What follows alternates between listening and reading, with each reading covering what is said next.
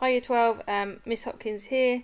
As promised, this is your lesson for this week, um, and we're still focusing on fish tank.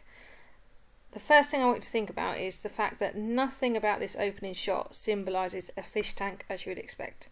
So when we press play, this is the first thing that we see from this film.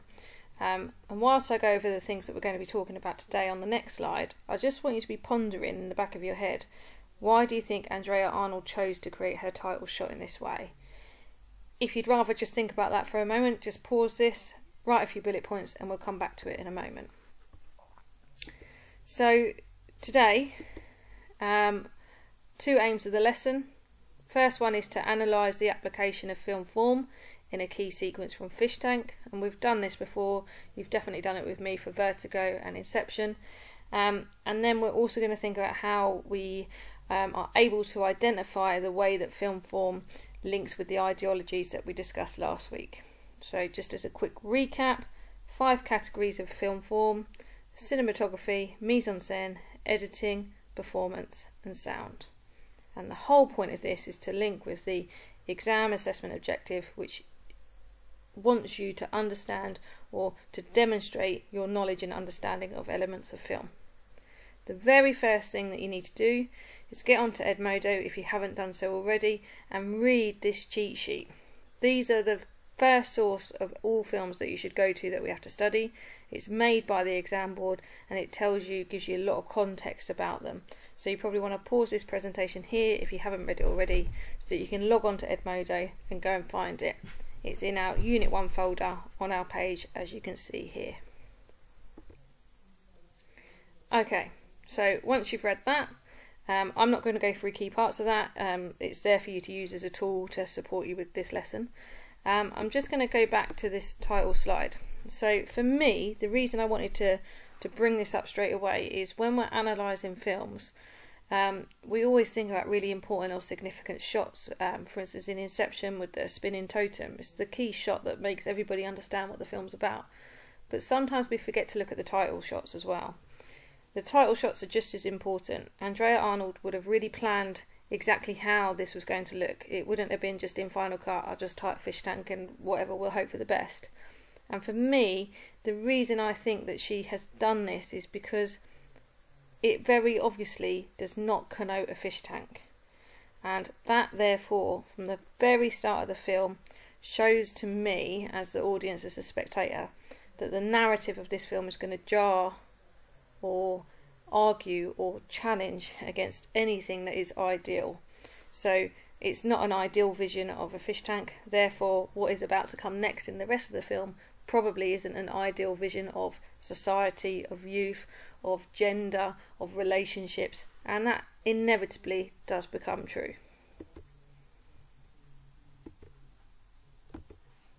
Okay, first task was to go and read the cheat sheet, which I hope you've all done. This is your second task, and this is the biggest chunk of the lesson, and I'll be spending a lot of time to go through this. So, you need to analyse the opening scene of Fish Tank. We're going to do the opening scene.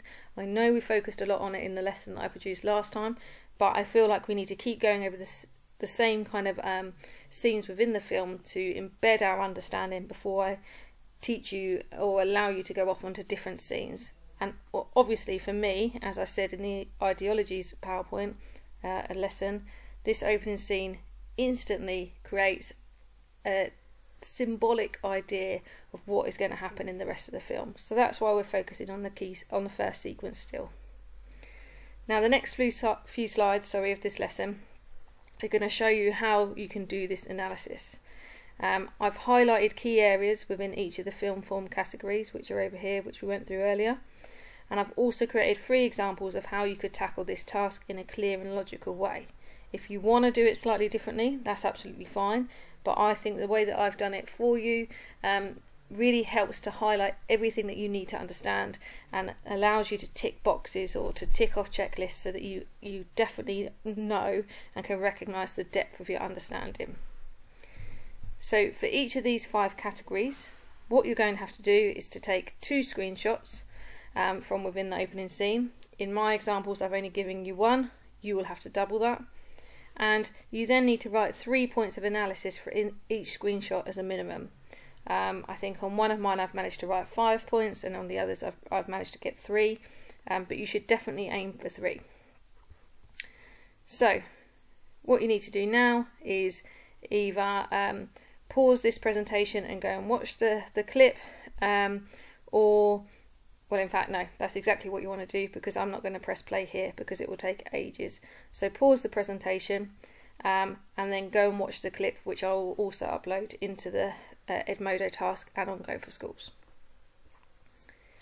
Just as a recap, because you're going to need them, these are the ideologies that we spoke about last week. So within Fish Tank, there's definitely references to social issues within the UK and within society. Mia is born into poverty, both financial um, and a poverty of love, and the lack of both of those in her life do dictate and control the outlook that she has um, in terms of her opportunities in life and what she can achieve. Arnold um, has dominant representations of youth, but she challenges them. We do see Mia as difficult and as deviant. She isn't at school, she swears a lot, she's drinking alcohol, she's doing lots of things that children of her age shouldn't be doing. But because we see this from Mia's perspective, um, this enables us to empathise with her. And the last one, the lack of the nuclear family has a massive impact on the children and a snowballing effect that continues later into life. So potentially is Mia going to end up just like her mother because that's the way that she's been brought up and that's what she knows. She doesn't understand what it's like to have a mother and a father and financial safety and love around her it may be worth you stopping and making notes of these if you need them. Um, I know that whenever I'm being taught something new, I have to make notes the whole time, otherwise, it doesn't go in. But of course, you can just keep pausing and going back on this presentation. So, we've watched the clip, we know what our ideologies are. Let's get on to the points of film form. The first one we're going to focus on is cinematography. Okay, and what I've done for you for each of the categories of film form is taken what the exam board expects you to know, and then I've highlighted key areas that for this task I'd like you to focus on. They're colour coded in terms of how we use the bricks in class. Um, so cinematography is green, and also on some of them you've got a little purple box because this would be your extension. If you really want to challenge yourself in this task, this is what you need to think about. So for cinematography, I want you to think about the specific camera shots, including point of view shots that are used, um, also camera angles. Secondly, the composition. Where are the characters placed? How is the um, setting positioned in compared uh, in comparison to that character? We did a practical task on this um, in one of my lessons before when I asked you to go out with the cameras and to take really interesting shots um, that you'd composed uh, differently and creatively to what you normally would have. So think about that. I also want you to think about how the shot relates to the narrative development and conveys messages. How cinematography, don't forget lighting, it's very important, provides psychological insight into the character. How cinematography and lighting is used to align the spectators with the characters and with our interpretation of the narrative. And how cinematography, including lighting again, contributes to the ideologies. Your extension would be linking this to last week's task with Miss Burns about Andrea Arnold as an auteur. Does the cinematography that you're seeing in this scene really present her as a standout auteur? So, my example. What I've done whilst watching the clip is I've screenshot um, an image or a shot that I think was really significant. Um, I've given it the, the title of the slide, cinematography, and then I've literally just taken four of the key points from the previous slide. So you can see number one, I've got camera angles. Number two, I've got composition. Number three, narrative development here. Number four, psychological insight here. And I did manage to look at the ideologies as well. Okay, so camera angle is a high angle looking down. Composition, Mia is centrally framed, she's in the centre of that shot. For narrative development, I've spoken about how this is the first shot that we see after the title. So that black screen with fish tank in the middle, this is the next thing we're, we're presented with as an audience. Mia's not looking at us. She's surrounded by blue, as a fish would be in the water of a fish tank. So we are placed to be looking down at her as we would be if we were to peer into an actual fish tank, and I think that's really important. Notice that I've used we here. There's there's no getting away from that. Whoever is watching this is going to be placed in that position. But for the psychological insight, I've changed it to I because the way that I interpret that could be different to somebody else. Now, psychological insight. This symbolic image connotes that Mia is a character who is trapped by her surroundings, as a fish is by the glass walls of its tank. Because of that, I sympathise with her instantly. She's holding onto her thighs and she appear, appears vulnerable to me. Um, ideologies. Because I get the impression from this shot that Mia is trapped, I can make links to the idea that Mia's opportunities in life are limited by the things that are out of control and of course, we later see that that is true because of the poverty um, that she is surrounded by. I also, and I haven't written this, I'm just going to talk about it, think that this use of ideology and this sense of realism that I am getting here, um, I'm looking down on someone, I'm, I'm being made to judge her, I'm being made to interpret who she is just from a single glance at her does link to Andrea Arnold as an auteur because Andrea Arnold's um, one of her main goals is to represent reality and to represent the fight that people living in society have day on day in order just to get by. And this shot, for me, instantly symbolises that. So, what you need to do is go back to the clip, choose a specific shot. Um, that really rings true to you in terms of its cinematography. Pop it into a PowerPoint and then do exactly as I've done here. List the things from the list on the previous slide that you think it links to. And literally, that is you analysing the cinematography. You need to do it twice. As I've said, I've only done one in my examples, but the task needs you to do two things for cinematography and two things for the other areas. So let's go into my second one mise en scène. Key things that I want to focus on in yellow setting, props, costumes, and makeup. How changes in mise en scène contribute to character and narrative development. How mise en scène conveys messages and values. The significance of motifs uh, used in mise en scène included their patterned repetition. How mise en scène contributes to the ideologies within the film. And again, if you can, link the mise en scène to the auteur approach of Arnold. As I said, here I only managed to get three. Okay, on the previous one I did get five, but mise en scène, setting and props. Sorry, that doesn't show up particularly well in that colour, um, but this is setting and props. Mia's dressed in mainly grey. It lacks personality or anything that would make her stand out. She's trying to show off her feminine side through her hooped earrings, but never allows this fully to shine. So we've got a, a very kind of standard, um, boyish, if you would like to think about gendered clothing, um, costume that she's got on here, a black bag. Nothing about this is particularly feminine except for this particularly large hoop that she wears. Um, the messages and the values that are conveyed. So, because of her costume, we can infer that Mia feels the need to be strong. So, it's quite a masculine costume, that's what I'm suggesting and not dainty, and that she does not want to stand out in her in her surroundings. She really does begin to blend in. Um, motifs. The use of a grey lighter tracksuit at the start of the film. This is one of the, the very earliest shots within the film. Could indicate a weakness in Mia. And I've made a link here to the, the motif of the horse. So the, the tracksuit that she's wearing here at the start when she's a bit of a weaker character um, could be compared to the colour of the horse that she's so drawn to. At the end of the day, although that horse does signify hope for Mia, the horse does come to a very unhopeful end, if you would like it. it you know, it doesn't survive. And I think that can be compared to the stark contrast of her black tracksuit at the end of the film, when she is in control and leaves her current life behind her. So the use of colour, grey and black, definitely a repetitive motif within the film. So again, what you would need to do is, uh, whilst watching the clip, take two screenshots um, and then bullet point your list down here of your analysis of mise-en-scène within that shot type. Okay, thirdly, you need to think about editing. So the shot-to-shot -shot relationships of continuity editing. So why do certain shots follow the shot previous to them? Is there a relationship between the two of them?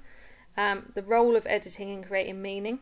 How editing implies relationships between characters and contributes to the narrative. How editing is used to align the spectator. Um, and finally, how editing contributes to the ideologies of the film. So for this one, because obviously one screenshotted image does not represent the editing, what I have done for you is I've screenshotted the first image followed by the shot that comes after it. So we as an audience view this shot and we're instantly then cut to this shot. So the relationships between shots, the change between the distance um, between the camera and Mia from a long shot over here to the close up here invites the audience to get closer to her and it heightens our understanding of her emotions. Over here, she's just a silhouette. Uh, she's just someone that we're, we're observing, we're quite voyeuristic to. But because we get right up close to her, again, still quite silhouette like, but we can see more detail of her as a character and the prop that she's holding. We are invited to get a better understanding of how she's feeling and what's going on in her life. And that is basically this point here creating meaning. Because we're now close to her, the audience pick up on her body language and the tension that she's feeling gives us an early insight into her character's mood and perhaps her personality. And finally, I think this particular piece of editing instantly aligns us with her as a character. Being this close to a character so early on in the film and being given insights to her vulnerability, as I discussed in the very first shot that we see, and her emotions, and having met no other characters, we instantly align ourselves with her as the camera places us as the only other presence within the room that she's isolated with it herself in. So this room where she goes to dance, she's there, she's on her own, she isolates herself, she gets away from her reality. But this use of camera getting very close to her presents us right there with her. We understand her, we we learn about her, we see things that other characters within the film don't, and that gives us an alignment to her. Okay, so there are my three examples for you done. So let's just recap the task. So you need to analyse the opening scene of Fish Tank. The slides that I've just shown you introduce how to do this for you. I have highlighted the key areas within each of these different um, categories of film form that you should focus on and you've now got three examples. Okay, the difference is from my examples you have to take two screenshots of images per category. So in total, you will have 10 different slides. Um, and you need to make three points of analysis for each shot. On the first one, I managed to get five, and on the second two, I did get three. Try not to use the same um, shots that I've taken, but of course, if you've interpreted or inferred something different from them, um, you could use them. So I'm not going to give you examples for these, but I'll just go through what I've highlighted. So performance, the significance of casting. Um, was the actress who plays Mia known or is she unknown? Why did Andrea Arnold choose Michael Fassbender at the time? Was he a well-known actor, actor, sorry, or was he not? Is there a significance from the fact that he has a different accent to Mia, uh, maybe presenting him as somebody um, not otherworldly, but somebody um, from a different area from her, and is that significant? How has the performance conveyed messages and values? So the way that the characters perform their roles, do we understand different messages and values? And how do they the performances also contribute to our ideologies of the film? And for sound, the last one, focus on diegetic or non-diegetic sound. Diegetic being if you were in the scene, you would hear it as well. Cars driving past, dialogue, um, in the background, for instance, is someone having an argument in the background, park swings, dogs barking, kettles boiling, or non diegetic sound, soundtrack, not just music. And that's very important for you to understand within this film because actually, a lot of the music that we hear is diegetic because we're listening to it at the same time that Mia is or that Connor is. So, non diegetic soundtrack. Uh, music that's put on to add um, uh, kind of tension or to add a uh, atmosphere to the film that the characters can't hear. How sound relates to characters and narrative development. We spoke a little bit a bit about this um, on a previous task. What is the significance of the music and how does it develop the, the narrative? How sound conveys messages and values. How it is used to align the spectator and how it contributes to the ideologies conveyed by the film.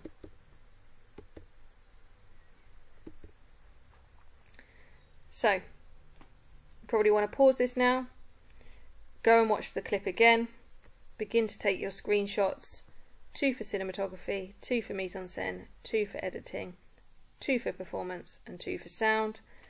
Pop them into a PowerPoint and start to analyse at least three different points for each of those screenshots that you've taken. If you cannot produce a PowerPoint, not a problem at all. Screenshot your chosen shots on your phone if that's how you're accessing it, or on the laptop.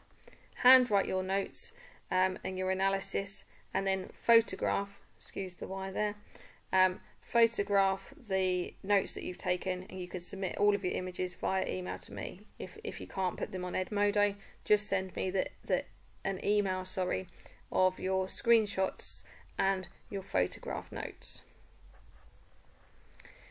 Okay, final task then is a written task as it always is when it comes to the lessons that I've produced for you because I think not only do you need to make the notes, you need to apply your understanding, which definitely links with our assessment objective over here, demonstrate knowledge and understanding of elements of film. What I'd like you to do is to write 500 words to answer this question. How has Andrea Arnold used film form? Here you go, what the whole lesson has been about. To align the audience with Mia as the main character within the opening scene. So I want you to reference at least three different categories of film form. So how has the cinematography aligned us with Mia? How has the mise en scène aligned us with her? How has the sound aligned us with her? You can pick any three you like, but you need to reference three of them. In order to challenge yourself in this task, though, it would also be great and a really strong answer if you could reference at least one of the ideologies that Arnold has created. And I went through these at the start of the PowerPoint, so you might need to go back to them. Okay, that's your task for this week. As ever, and as I said at the start, if you do have questions, just send me an email or drop me a message on Teams.